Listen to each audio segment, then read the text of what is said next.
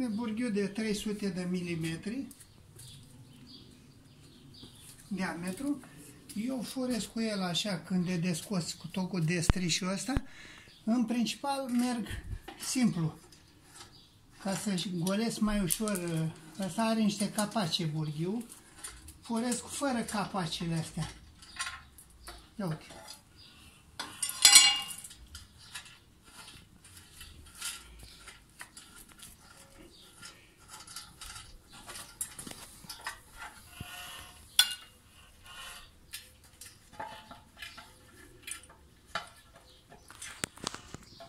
Capacile le pun numai dacă e nevoie. Restul fără capaci. Evident că capacile să țină materialul când e mai moale sau e mai... Eu. Aici e interesant că are două începuturi burghiu, pasul suficient de mare, Cam asta e burghiul ăsta, e un burghiu extraordinar de bun. Eu cu el fără. Bineînțeles, toate burghiile de aici sunt pentru pământ, nu pentru piatră. Piatra disputăm altă dată. Deci asta a fost un burghiu. Hai să vedem pe celălalt burghiu, numărul 2.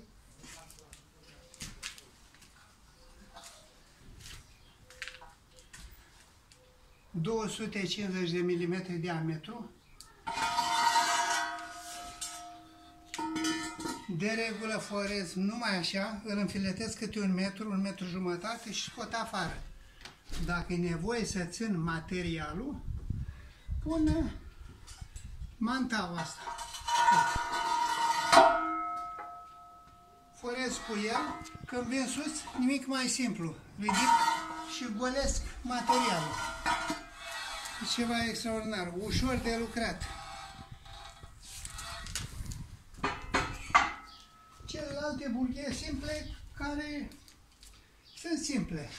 Fără oala aia, poți forezi foarte bine și cu asta până la 30 de metri, nu-i problemă. Ce vreau să mai zic, burghiul ăsta, numărul 2, de la 250 poți să-l faci să foreze 300 de milimetri din ce cauză că are un adaptor